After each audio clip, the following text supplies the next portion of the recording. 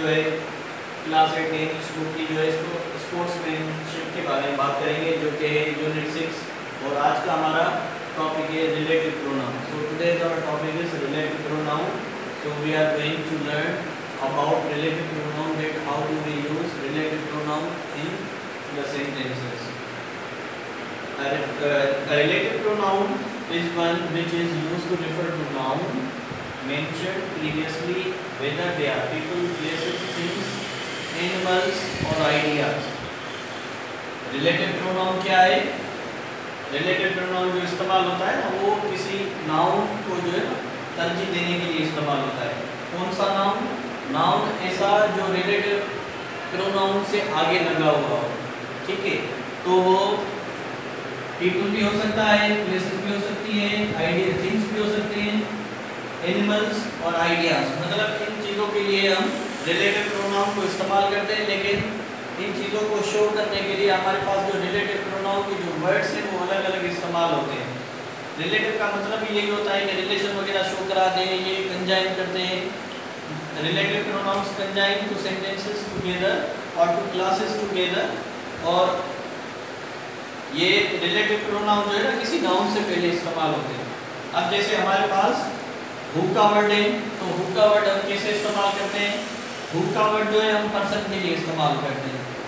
उसके बाद which का वर्ड है which को अगर इस्तेमाल करेंगे तो किसके लिए करेंगे? तो which का जो वर्ड इस्तेमाल होता है, वो एनिमल के लिए होता है। डेट को जो इस्तेमाल करेंगे, वो स्पेसिफाई करने के लिए इस्तेमाल करेंगे। कोई भी ऑब्जेक्ट है, कोई भी चीज़ है, उसको स्पेसिफाई करने के लिए हम इस्तेमाल करेंगे। उसके बाद है हुम हुम जो है ऑब्जेक्ट के ऑब्जेक्टिव केस है तो ऑब्जेक्ट में इस्तेमाल करते हैं इसको। उसके बाद है हुज हुज जो है पोजीशन में मिलकर वगैरह जो ज़ाहिर करते हैं, जो या चीज़ के बारे में जैसे कहें, उसके लिए हुज का वर्ड इस्तेमाल करते हैं। तो चलो स्टूडेंट्स आते हैं हम अपने एग्ज़ाम्पल पे। हमारा जो पहला एग्ज़ाम्पल है, वो है she has a sister who is helpful उसकी एक बहन है, जो बहुत मददगार है, या जो मददगार है। अब ये हु का वर्ड है। हु किसको मीनिंग दे रहा है? अ सिस्टर को। जैसे यहाँ डेफिनेशन में कह रहा है कि रिलेटिव प्रोनाउन क्या करता है? रेफर करता है किसी नाउन को। तो ये हमारा रिलेटिव प्रोनाउन है और ये रेफर कर रहा है इस नाउन को। अगला हमारा सेंटेंस है the boy who the boy is my brother who is speaking ये लड़का मेरा भाई है जो बात कर रहा है या जो बोल रहा है।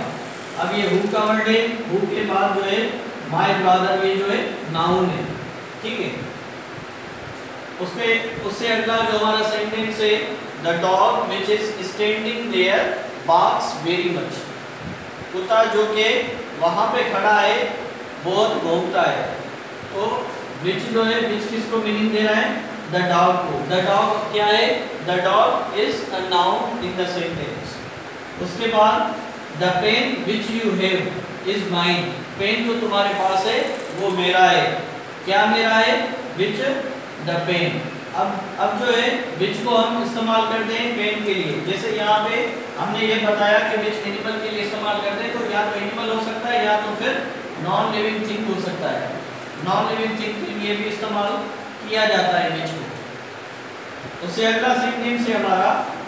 This is the only boy that can help you ये वही या एक ही लड़का है या यही बंदा है जो आपकी मदद कर सकता है। अब देखिए इसमें देट का वर्ड इस्तेमाल किया गया है। देट किसको मीनिंग दे रहा है? द ओनली बॉय ठीक है, कि ये सिर्फ़ वही बंदा है जो कि तुम्हारी हेल्प कर सकता है। अब इसमें क्या कर रहा है? यहाँ पे स्पेसिफाई कर रहा है इसको। उससे अगला सेंटेंस है this is the boy whom I gave a pen yesterday ये वो बंदा है जिसको मैंने कल अपना पेन दिया। अब हुम किसको मीनिंग दे रहा है? हुम एज ऑब्जेक्टिव केस इस्तेमाल हुआ है लेकिन यहाँ पे द बॉय को मीनिंग दे रहा है।